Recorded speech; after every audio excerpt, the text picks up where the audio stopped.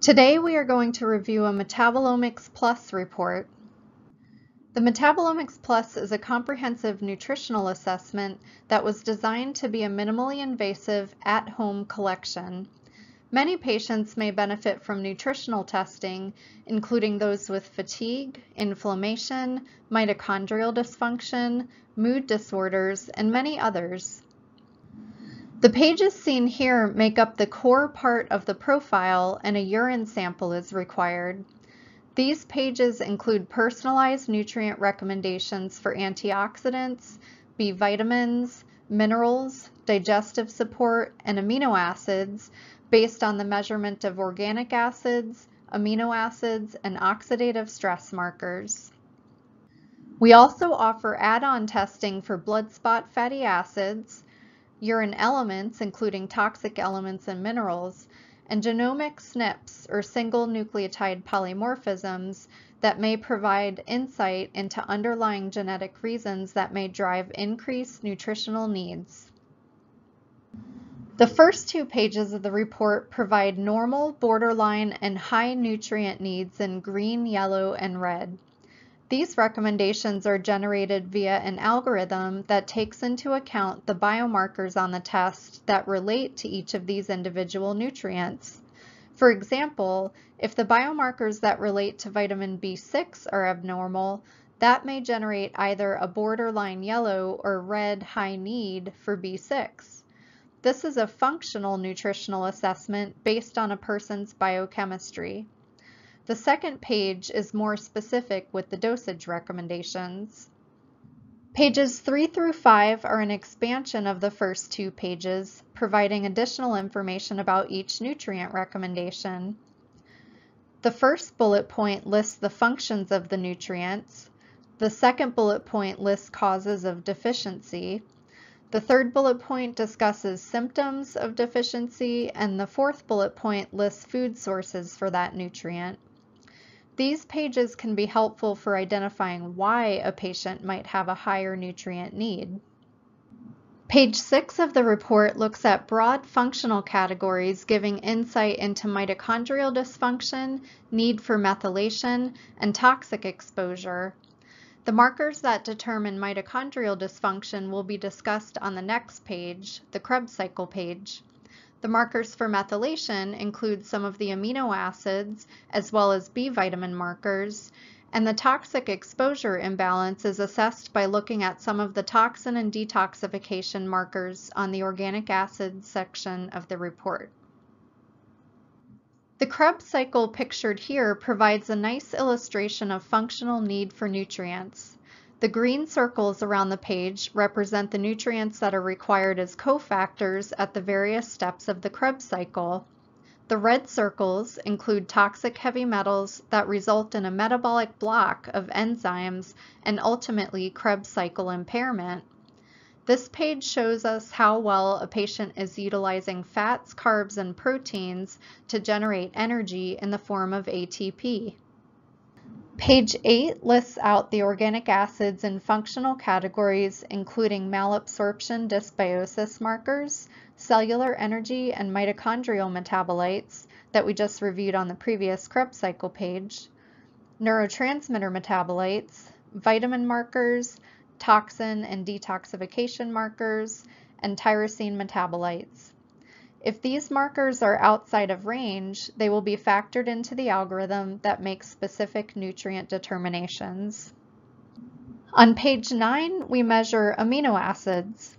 The left side of the page tells us the levels of amino acids, whereas the right side of the page shows us amino acid intermediates and tells us more about vitamin and mineral cofactor needs. The dietary peptide markers at the bottom right may indicate incomplete protein breakdown. The final page of the main report shows us two oxidative damage markers. When elevated, it is important to determine sources of oxidative stress and minimize if possible, while mitigating the damaging effects with antioxidant support. As mentioned earlier, we do offer add-on testing to the Metabolomix Plus. The blood spot fatty acids are obtained via a finger stick, which is sometimes more convenient for patients who do not want a venipuncture or blood draw. The blood spot test looks at fatty acids in whole blood versus the red blood cells that we measure on the NutrEval profile. Our lab saw great correlation between these two sample types and the approximate amount of time both sample types represent is up to 90 to 120 days, which is the life cycle of a red blood cell. The fatty acids are especially useful for looking at fatty acid composition of the diet, and in particular, the anti-inflammatory fats versus pro-inflammatory fats.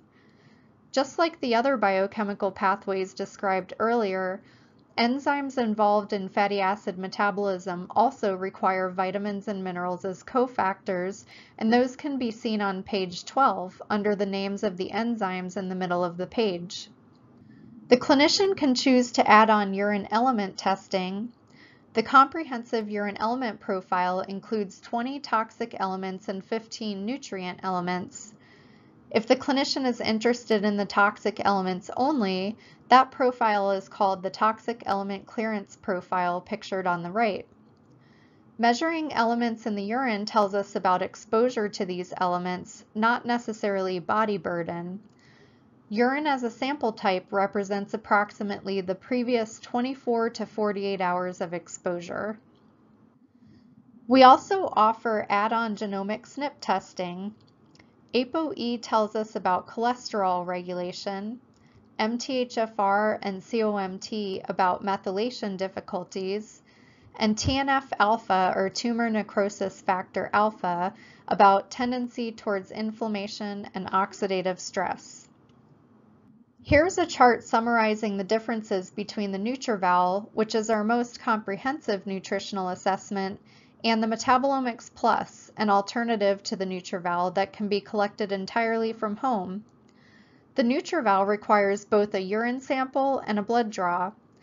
The baseline test of the metabolomics test requires a urine sample only.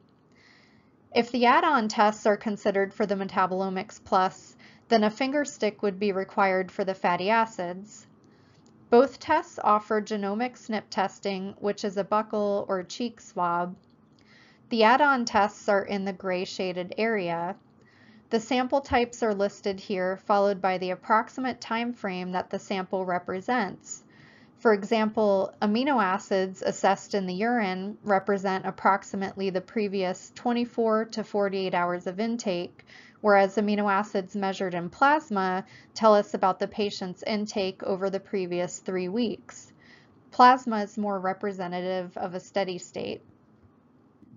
You can visit our website for educational resources about the Metabolomix Plus test. The MAP support guide gives detailed information on each of the organic acids we measure. As mentioned, the NutrEval is our most comprehensive nutritional assessment, and our interpretive guide for that test covers the majority of the biomarkers that are measured on the Metabolomix Plus test. LearnGDX has videos in Nutrition University on interpreting the various parts of the NutrEval test that overlap with the Metabolomix Plus test. Live GDX is our monthly webinar series, and you can visit the archives to search for nutrition-related topics. The Lab Report podcast features Drs. Michael Chapman and Patty Devers discussing many topics related to nutrition. The test prep page provides information on various medications that patients take and the impact they might have on the metabolomics biomarkers. And finally, we have a whole team of medical education specialists here who are available to consult on patient test results. You can schedule a consultation online or by calling client services. Thank you all for joining today to learn more about the Metabolomix Plus.